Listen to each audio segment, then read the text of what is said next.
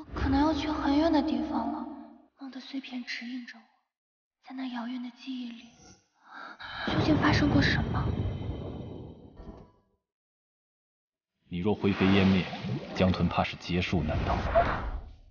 留给你的时间不多了。别走，留下来。我等与人类注定殊途。